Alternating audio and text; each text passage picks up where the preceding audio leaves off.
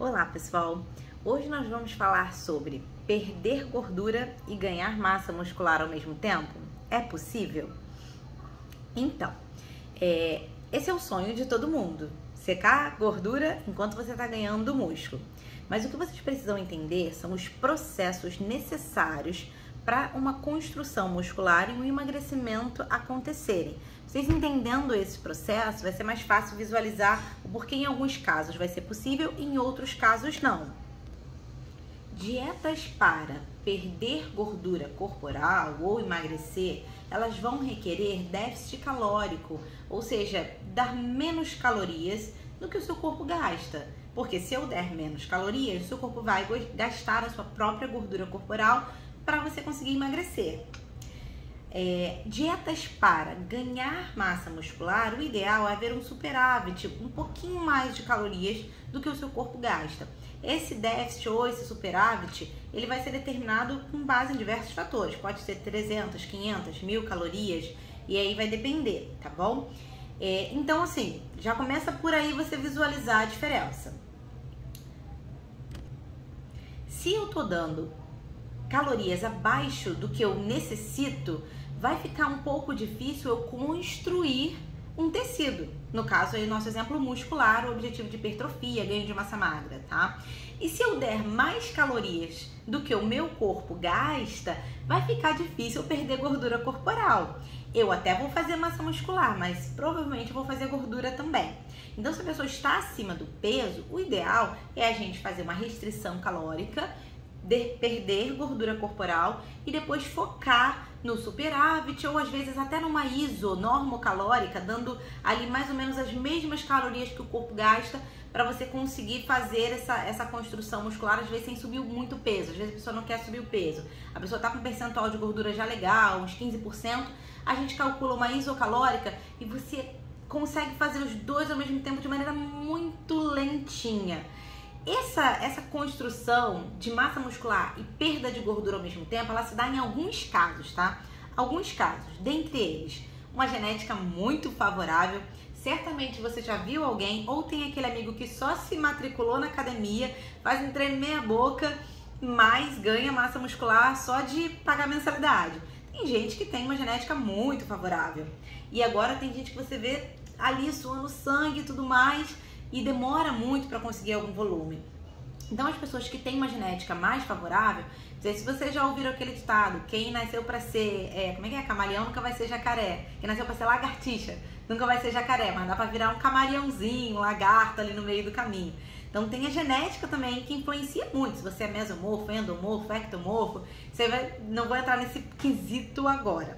Então a gente tem primeiro o fator genético, que se a pessoa tiver uma genética muito boa, você até consegue fazer os dois ao mesmo tempo. Aí eu geralmente trabalho com uma dieta mais isocalórica ou um levezinho superávit, às vezes de 200, 100 calorias a mais, pouca coisa, para tentar não deixar subir a gordura corporal. Daí a gente vai acompanhando isso em bioimpedância e vai mexendo na dieta conforme resposta do corpo, tá? Segundo fator, é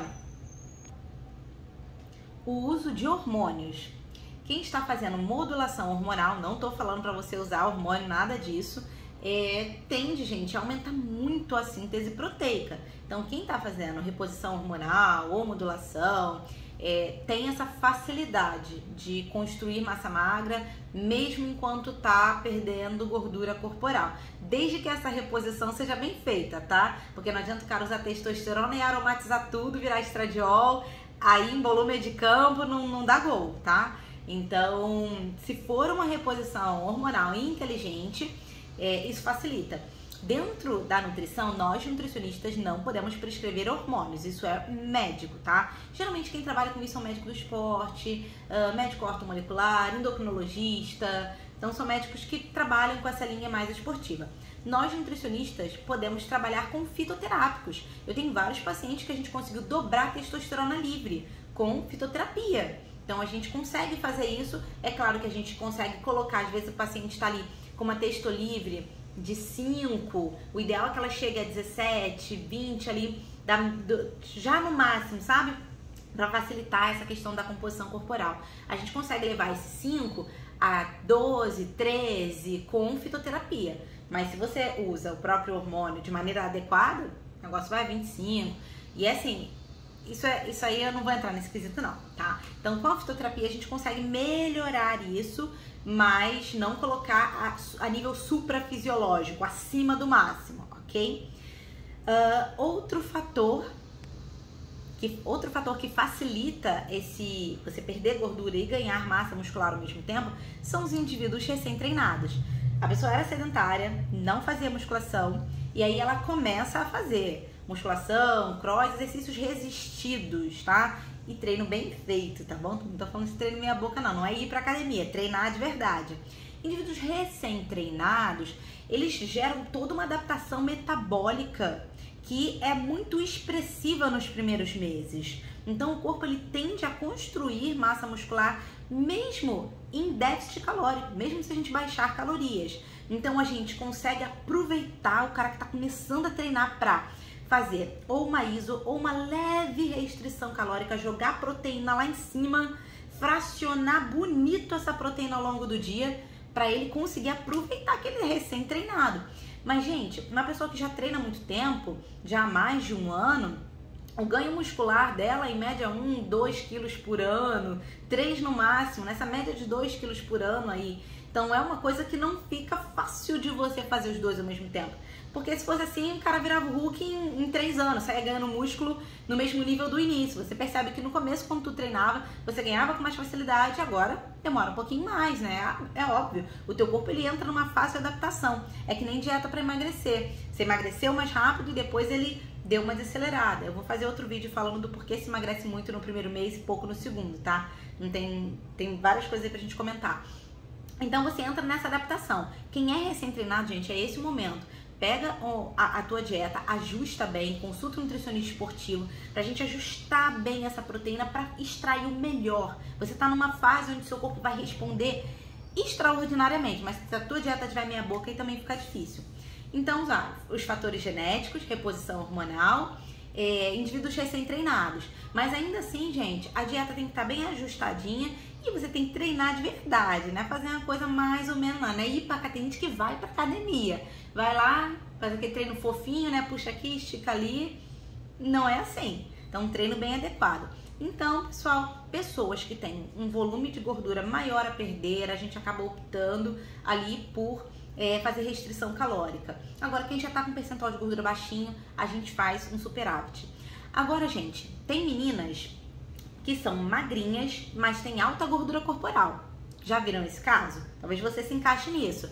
Às vezes você pesa ali 50 quilos, tu tem 1,65, 1,70 de altura, pesa 50, magrinha, mas quando a gente joga na bioimpedância e você percebe isso no seu corpo, seu percentual de gordura é 25, 30%. Porque você certamente você não treina, ou se treina, treina mais ou menos, né? Não tá um treino muito bom.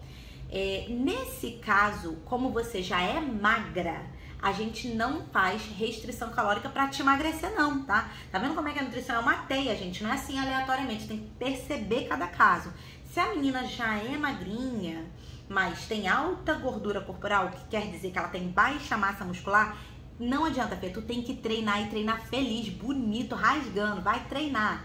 Você tem que ganhar músculo, mesmo você tendo alta gordura corporal. Aí a tua dieta vai ser isocalórica, a gente vai dar as mesmas calorias que o teu corpo gasta, talvez com um leve superávit, bem pouquinho, e você certamente vai conseguir fazer os dois ao mesmo tempo se o teu treino for bom, até porque na teoria você vai ser recém-treinada aí.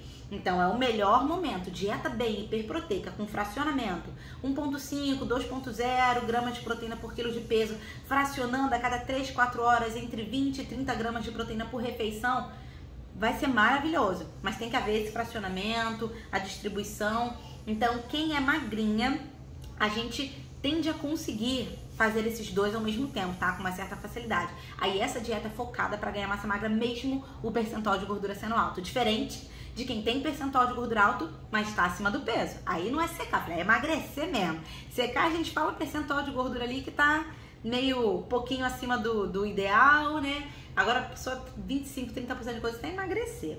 Exceto se você for aquela menina magrinha, mas com baixa massa magra. E aí você tem que ganhar músculo.